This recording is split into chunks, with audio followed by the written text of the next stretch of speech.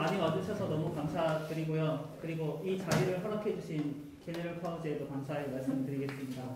어 그리고 제가 실은 좀 투머치 토커라서 말이 길면 좀 헛기침을 해주시면 제가 잘 알아듣도록 하겠습니다. 자, 어, 오늘 저희가 준비한 음악은 모차르트 디베르티멘토라는 음악인데요. 두 곡을 준비했는데 첫 번째 곡을 하기 전에는 모차르트에 대한 설명을 조금 드리고 연주하고 두 번째 곡을 하기 전에는 디베르티멘토라는 음악이 어떤 음악인지에 대해서 설명을 드리고 연주하도록 하겠습니다.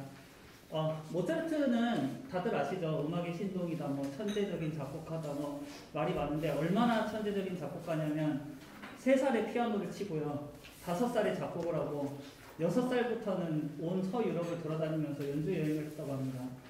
뭐 저는 여섯 살때 아무것도 아닌 것 같은데 대단한 분인 것 같고 어, 교향곡을 무려 41개나 작곡하고 오페라도 20개가 넘는 오페라를 작곡하고 총 600여 곡의 곡을 작곡했는데 거의 모든 악보에 수정은 한 적이 없을 정도로 천재적인 작곡가였다고 합니다.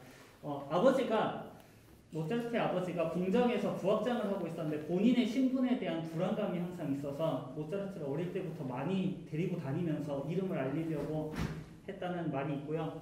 그러던 중에 교황에게 이제 훈장을 훈장을 하나 받게 되는데 그 이유가 뭐냐면 악보를 반출하지 말라고 한 곡을 모차르트가 한 번 듣고 필사로 그 악보를 반출하지 않고도 그 악보를 만들어내는 그런 일을 하면서 교황에게 훈장까지 받게 된 진짜 저로서는 그런 사람이 존재했을까 싶을 정도로 대단한 천재적인 작곡가였다고 생각합니다.